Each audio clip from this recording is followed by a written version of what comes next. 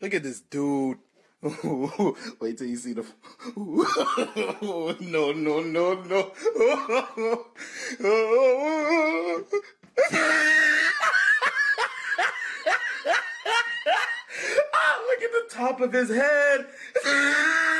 안녕하세요 레독입니다. 삼성과 마이크론에서 순정 클럭 3200인 램이 곧 출시 예정이라는 거 지난번 영상에서 말씀드렸었죠? 이번 영상에선 저희가 입수한 순정 클럭 3200인 마이크론의 Crucial 3200 램을 가지고 놀아볼 거예요.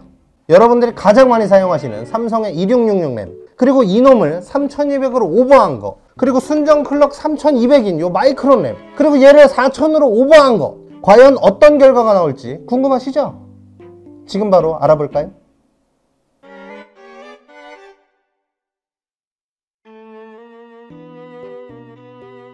테스트는 3DMark Fire Strike와 CPU-Z 벤치로 CPU 성능 차이를 수치로 확인할 수 있게 해봤고요. 메모리 latency 측정을 위한 AIDA 64 메모리 벤치마크와 가장 중요한 실제 게임 성능은 배틀그라운드로 측정해봤어요.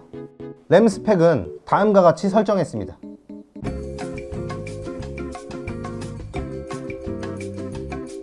먼저 파스 점수예요. 총점과 CPU 점수에서 차이를 확인할 수 있습니다. 한 가지 재밌는 건 지금 보고 계시는 CPU를 3500으로 테스트한 결과와는 달리 3600에서 테스트한 결과에서는 Crucial 4000과 나머지의 점수 차이가 훨씬 큰데요. 아마 3600이 캐시 용량이 앞서다 보니까 고클럭에서 차이가 두드러진 것 같습니다.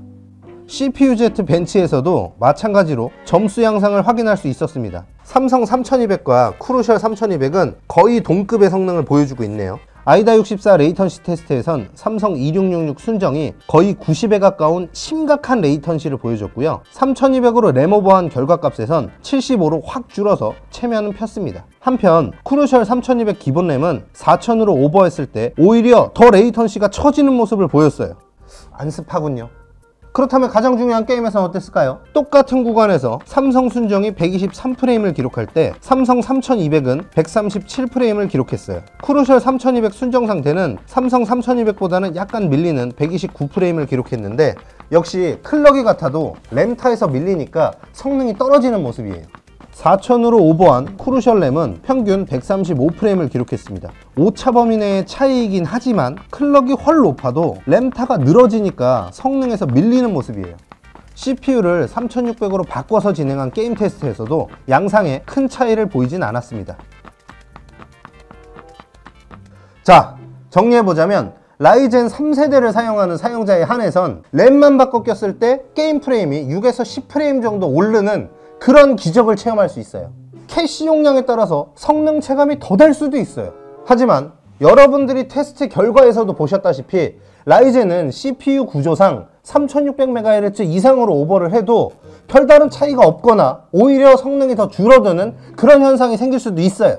제 생각으로는 가장 이상적인 건 3200에서 3600MHz 정도로만 램 오버를 해주시고요. 최대한으로 램타를 줄여주는 게 가장 이상, 아이씨. 가장 이상적인 거라고 봅니다. 근데 가장 중요한 건 라이젠 3세대를 사용하시는 분들은 그냥 순정 3200램을 사용을 하면 그냥 정상적으로 3200으로 동작을 하고요.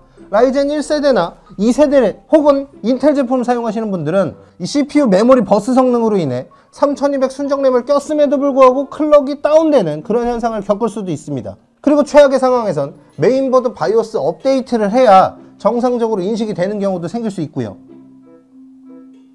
아시겠죠? 이번 영상은 여기까지고요. 영상이 마음에 드셨다면 구독과 좋아요, 알림 설정 부탁드리고요. 다음 영상에서 다시 만나요. 안녕.